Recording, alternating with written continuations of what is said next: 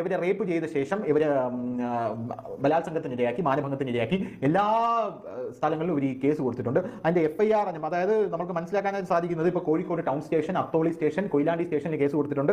Crime number ഉണ്ട്. നൂറ്റി അമ്പത്തിനാല് ബാർ രണ്ടായിരത്തി പതിനാറ് നാനൂറ്റി മുപ്പത്തൊമ്പത് ബാർ രണ്ടായിരത്തി ആറ് ആയിരത്തി പതിനഞ്ച് ബാർ രണ്ടായിരത്തി ഇരുപത് ആർക്ക് വേണമെങ്കിൽ ഇത് പരിശോധിക്കാം. എന്നീ ക്രൈം നമ്പറിൽ രജിസ്റ്റർ ചെയ്ത എഫ് ഐ ആറിൽ എല്ലാം തന്നെ ഇവർ പറയുന്നത് വ്യക്തികൾ തന്നെ പീഡിപ്പിച്ചു എന്ന രീതിയിലാണ് ഇവർ വിവിധ കാലത്ത് കൊടുത്ത പരാതികളിൽ പറയുന്നത്. പക്ഷേ ഇവർ കൊടുത്ത ഈ പരാതികളിൽ ഇവർ പറയുന്നത് എന്നെ അനുമതിയില്ലാതെ കയറി പിടിച്ചു വസ്ത്രം വലിച്ചു കയറി നിർബന്ധിച്ച് ലൈംഗിക ബന്ധത്തിൽ ഏർപ്പെട്ടു എന്നാണ് ഇവർ പറയുന്നത്. ഇവയെല്ലാം തന്നെ കോടതിയിൽ ചീട്ട് കൊട്ടാരം പോലെ പൊളിഞ്ഞടുങ്ങി എന്നുള്ളതാണ് കാര്യം. ഇതാണ് ഇമ്പോർട്ടന്റ് ആയിട്ടുള്ള കാര്യം. നമ്മൾ പറയുന്ന കാര്യമല്ല കോടതി നിരീക്ഷണമാണ്. അത് പോലീസ് അന്വേഷണത്തിലും കോടതി നിരീക്ഷണത്തിലും കണ്ട കണ്ട് കണ്ടെത്തിയ കുറച്ച് ഫാക്ട്സ് ഞാൻ പറഞ്ഞുതരാം. ഈ കേസ് കെട്ടിച്ചമച്ചതാണ്. ഒന്നാമത്തെ കാര്യം. രണ്ടാമത്തെ കാര്യം വാദിയായ ഈ പെൺകുട്ടി നുണ പറയുന്നതാണെന്നും പരസ്പര സമ്മതത്തോടെ ലൈംഗിക ബന്ധത്തിൽ ഏർപ്പെട്ടതാണെന്നും മറ്റും കോടതിയുടെ നിരീക്ഷണം പകലുപോലെ തെളിഞ്ഞിട്ടുണ്ട്. അത്. രണ്ട് അടുത്ത കാര്യം പ്രതികളായ ആയവരോട് അതായത് ഇവർ അക്യൂസ്ഡ് ആയിട്ട് നിൽക്കുന്ന ആൾക്കാരോട് ഇവർ രണ്ട് ലക്ഷം രൂപ ഇതേ തുടർന്ന് ചോദിച്ച് ഭീഷണിപ്പെടുത്തിയിട്ടുണ്ട്. ആ ചോദിച്ചിട്ടുണ്ട്. അതായത് ഒരു ഹണി ട്രാപ്പ് എന്ന് പറയുന്ന ആ രീതിയിൽ കാര്യങ്ങൾ പോകുന്ന ഒരു സംഭവമാണ് ഇങ്ങനെയുള്ളത്. അതായത് പരസ്പര സമ്മതത്തോടു കൂടി ഈ ലൈംഗിക ബന്ധത്തിൽ ഏർപ്പെട്ട ശേഷം പണത്തിന് വേണ്ടി ഒരാളെ ആ ഒരു ട്രാപ്പിലേക്ക് കൊടുക്കുക. അതിനുശേഷമാണ് ഇവർ ഈ വേഷം കെട്ടിയിട്ട് നമ്മുടെ സമൂഹത്തിൽ ഇറങ്ങി നടക്കുന്നത് എന്നുള്ളത് വേറൊരു കാര്യം. ഇനി ഇത് മാത്രമല്ല ഇപ്പൊ ഇവർ പറഞ്ഞുകൊണ്ടിരിക്കുന്ന എന്താ അറിയോ? ഇവർ ബി ജെ പി ആണ് ആർ എസ് എസ് ആണ് ഞാൻ സുരേഷ് ഗോപിയുടെ സഹോദരിയാണ്. ഞാൻ സീരിയസ്ലി അങ്ങനെയാണ് പറഞ്ഞുകൊണ്ട് ഞാൻ ഗുരുവായൂരൻ തന്ത്രിയുടെ ശിഷ്യയാണ് ഗുരുവായൂരപ്പന്റെ ഭക്തയാണ് എന്നൊക്കെയാണ് പറഞ്ഞുകൊണ്ട് നടക്കുന്നത്. എന്നാൽ ഇവർ പറഞ്ഞുകൊണ്ട് നടക്കുന്ന സാഹചര്യമാണ്. അപ്പോ ഈ സംഭവത്തിൽ ഗുരുവായൂർ മേൽശാന്തിക്ക് അടക്കം വാണിംഗ് കൊടുക്കേണ്ടവർ വാണിംഗ് കൊടുത്തിട്ടുണ്ട്. ഇനിയും ഉണ്ട്. അതായത് ക്രൈം നമ്പർ മാറാട് മുന്നൂറ്റി മുപ്പത്തേഴ് ബാർ പതിനെട്ട് എസ് സി എഴുന്നൂറ്റി അമ്പത് ബാർ രണ്ടായിരത്തി പത്തൊമ്പത് ഇതിന്റെ ഫെയറിന്റെ കോപ്പി എല്ലാം നമ്മുടെ കയ്യിലുണ്ട്. കൊയിലാണ്ടിയിൽ അറുന്നൂറ്റി മുപ്പത്തൊന്ന് ബാർ രണ്ടായിരത്തി പതിനെട്ട് സി സി അറുന്നൂറ്റി പത്ത് ബാർ രണ്ടായിരത്തി പത്തൊമ്പത് ഇതുപോലെ തന്നെ കൊയിലാണ്ടിയിൽ വേറെ ഉണ്ട്. താമരശ്ശേരിയിൽ നാനൂറ്റി മുപ്പത്തൊമ്പത് ബാർ രണ്ടായിരത്തി ആറ് മുന്നൂറ്റി നാൽപ്പത്തൊമ്പത് ബാർ രണ്ടായിരത്തി എട്ട്. എല്ലാ കേസുകളുണ്ട്.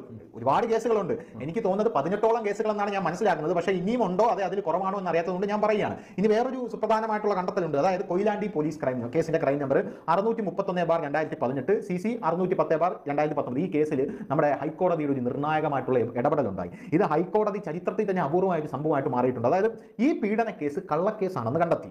ഈ പീഡന കേസ് കള്ളക്കേസാണെന്ന് കണ്ടെത്തി ഹൈക്കോടതി വനിതാ judge ജഡ്ജിയായിരുന്ന justice M R Anitha. M R Anitha ഈ കേസ് ആദ്യ സിറ്റിംഗിൽ തന്നെ സ്റ്റേ ചെയ്യുന്ന ഒരു സാഹചര്യം ഉണ്ടായിട്ടുണ്ട്. ഇത് കേരള ഹൈക്കോടതിയുടെ ഇതിൽ തന്നെ ആദ്യത്തെ കണ്ടെത്തലാണ് എന്ന് പറഞ്ഞാൽ കേരള ഹൈക്കോടതിയുടെ ഒരു ചരിത്രത്തിൽ തന്നെ ആദ്യത്തെ സംഭവമാണ്. ഈ കേസിന്റെ ജഡ്ജ്മെന്റിന്റെ പ്രസക്ത ഭാഗങ്ങൾ ഞാൻ എടുത്തു. എന്റെ കയ്യിലെ ജഡ്ജ്മെന്റിൽ താഴെ വരയിട്ട് പറയുന്നത് ഈ പ്രസക്ത ഭാഗങ്ങളാണ്. ഈ പ്രസക്ത ഭാഗങ്ങളിൽ ഇവർ പറയുന്നത് ഈ പി ഡബ്ല്യു വൺ എന്ന് പറഞ്ഞാൽ ഈ യുവതിയാണ്. ഈ P W one regarding the place of occurrence is not consistent with the prosecution case it is held that ഇതാണ് ഇമ്പോർട്ടന്റ് പോയിന്റ് കേട്ടോ. It is held that the evidence of P W one is not reliable and trustworthy എന്നാണ് പറയുന്നത്. അതായത് ഇവർ കൊണ്ടുവന്നിരിക്കുന്ന തെളിവുകൾ evidence എന്ന് പറഞ്ഞാൽ reliable അല്ല. പോരാത്തതിന് ഈ യുവതി കള്ളം പറയുന്ന ഒരു യുവതിയാണ്. ട്രസ്റ്റ് വേർത്തി അല്ല എന്നാണ് പറഞ്ഞിരിക്കുന്നത്. കോടതിയുടെ കണ്ടെത്തലാണ്. അതെ. കോടതിയാണ് പറഞ്ഞിരിക്കുന്നത്. കോടതി പറയുന്നതിനപ്പുറം നമുക്ക് എന്തോ വേണം?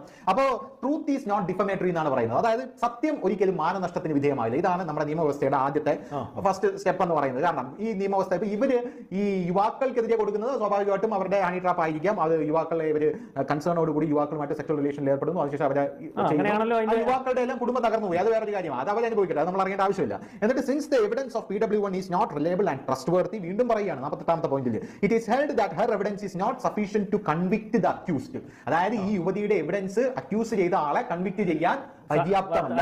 ആ, പര്യാപ്തമില്ല തെളിവില്ല. തെളിവില്ല. എന്ന് പറഞ്ഞു അതായത് ട്രസ്റ്റ് വർത്തിയല്ല എന്ന് പറയുന്നുണ്ട്. ഇനിയുണ്ട്. ഇവർ ബ്രൂട്ടലി ഇവർ എന്താണ് റേപ്പ് ചെയ്തു എന്ന് ഇവർ പറയുന്നുണ്ടെങ്കിലും മെഡിക്കൽ എക്സാമിനേഷനിൽ ഇവരുടെ ശരീരത്തിൽ യാതൊരുവിധ പ്രശ്നങ്ങളും ഇല്ല. പ്രശ്നമില്ല എന്ന് പറഞ്ഞാൽ ഇവർ പറയുന്ന സംഭവം വൺ സിക്സ്റ്റി ഫോർ കൊടുക്കുമ്പോൾ ഇവർ പറയുന്നത് അടിച്ചു പിടിച്ചു എന്ന് പറയും. അപ്പൊ മെഡിക്കൽ റിപ്പോർട്ട് എടുക്കുമ്പോൾ ശരീരത്തിൽ അത്തരത്തിലുള്ള ചതവോ മുറിവോ ഒന്നുമില്ല എന്നാണ് പറയുന്നത്. രഹസ്യമൊഴി. രഹസ്യമൊഴി അതാണ് പറയുന്നത്. ഇനി ഇത് മാത്രമല്ല നമ്മുടെ അനിൽകുമാറിയെ സബ് ഇൻസ്പെക്ടർ എന്റെ ഊഹം ശരിയാണെങ്കിൽ ഇത് കൊയിലാണ്ടി പോലീസ് ടൗൺ പോലീസ് സ്റ്റേഷനിലും ആണ്. മനസ്സിലായില്ലേ? അത് അവർ ചാർജ് ഷീറ്റ് കൊടുക്കും. അതായത് ഒരു പോലീസ് കേസ് അന്വേഷിച്ച ശേഷം കോടതിയിൽ ചാർജ് ഷീറ്റ് കൊടുക്കും. ആ ചാർജ് ഷീറ്റാണ് ഇപ്പൊ എന്റെ കയ്യിലിരിക്കുന്നത്. ചാർജ് ഷീറ്റ് ആ ചാർജ് ഷീറ്റിൽ കൃത്യമായിട്ട് പോലീസ് ഇവരെ കേസ് അന്വേഷിച്ച പശ്ചാത്തലത്തിൽ അവർ എഴുതി എഴുതി കൊടുത്ത പല കാര്യങ്ങളുണ്ട്. ഇത് നമുക്ക് മുഴുവൻ വായിച്ചേ പറ്റത്തുള്ളൂ. കാരണം ഇല്ലെങ്കിൽ നമ്മുടെ പ്രേക്ഷകർക്ക് മനസ്സിലാവില്ലല്ലോ.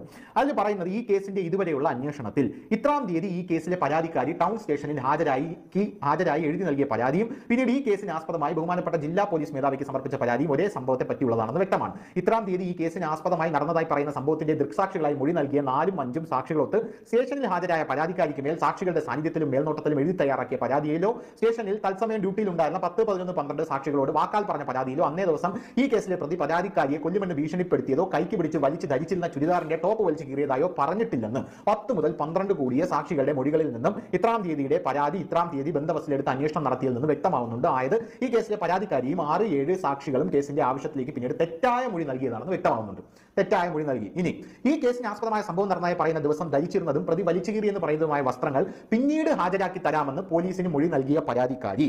ഇത്രാം തീയതി ബഹുമാനപ്പെട്ട ഹൈക്കോടതിയിൽ വൺ സിക്സ്റ്റി ഫോർ സ്റ്റേറ്റ്മെന്റ് നൽകിയപ്പോൾ സംഭവ ദിവസം ഈ കേസിലെ പ്രതി വലിച്ചു കീറിയ ടോപ്പും ഇന്നറും പോലീസിന് കാണിച്ചു കൊടുത്തിട്ടുണ്ട് എന്ന് മൊഴി നൽകിയിട്ടുള്ളതാണ്. മൊഴി നൽകി. ഹൈക്കോടതി? ഹൈക്കോടതിയിൽ മൊഴി നൽകി. അതായത് സംഭവം നടന്നായി പറയുന്ന ധരിച്ചിരുന്ന വലിച്ചുകീറി എന്ന് പറയുന്ന വസ്ത്രം പിന്നീട് ഹാജരാക്കി തരാമെന്ന് പോലീസിനോട് പറഞ്ഞു. എന്നിട്ട് എന്നിട്ട് കോടതി 164 പോയി പറഞ്ഞു ആ ടോപ്പ് ഇന്നറും ഞാൻ കാണിച്ചു കൊടുത്തു എന്ന് പറഞ്ഞു. വൺ സിക്സ്റ്റി ഫോർ അങ്ങനെ പറഞ്ഞു. ബഹുമാനപ്പെട്ട കോടതിയിൽ നിന്ന് അങ്ങനെ പറഞ്ഞു. കേസിലെ പ്രതി വലിച്ചു കയറിയ ടോപ്പും ഇന്നറും പോലീസിന് കാണിച്ചു കൊടുത്തിട്ടുണ്ടെന്ന് മൊഴി നൽകിയിട്ടുള്ളതാണ്.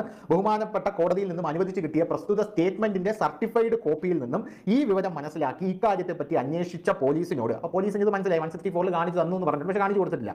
പോലീസിനോട് സംഭവ ദിവസം ധരിച്ചിരുന്ന വസ്ത്രങ്ങൾ പോലീസിന് കാണിച്ചു കൊടുത്തിരുന്നു എന്ന് ബഹുമാനപ്പെട്ട ഹൈക്കോടതി ആരാഞ്ഞപ്പോൾ ഉവ് എന്ന് അറിയാതെ പറഞ്ഞു പോയതാണെന്ന് പരാതിക്കാരി മൊഴി നൽകിയത് ബഹുമാനപ്പെട്ട ഹൈക്കോടതി മുൻപാകെ നൽകുന്നതും കേസിലെ സുപ്രധാന തെളിവായി പരിഗണിക്കാവുന്നതുമായ വൺ സിക്സ്റ്റി ഫോർ സ്റ്റേറ്റ്മെന്റിൽ പോലും വ്യാജമായ വിവരങ്ങൾ നൽകിയ പരാതിക്കാരിയുടെ മറ്റു മൊഴികളും വിശ്വാസയോഗ്യമായി കരുതാനാകില്ല അതായത് പോലീസ് ചോദിച്ചപ്പോൾ കാണിച്ചു തരാമെന്ന് പറഞ്ഞു കാണിച്ചു കൊടുത്തില്ല കോടതി പോയിട്ട് പോലീസ് ഇത് കാണിച്ചു കൊടുത്തെന്ന് പറഞ്ഞു കോടതി പോലീസിനോട് ചോദിച്ചു അപ്പോൾ പോലീസ് ഇവരോട് ചോദിച്ചു നിങ്ങൾ കാണിച്ചു തന്നില്ലല്ലോ അപ്പോൾ കോടതിയിൽ വൺ സിക്സ്റ്റി ഫോർ ഞാൻ കൊടുത്തപ്പോൾ ഞാൻ അറിയാതെ എന്ന്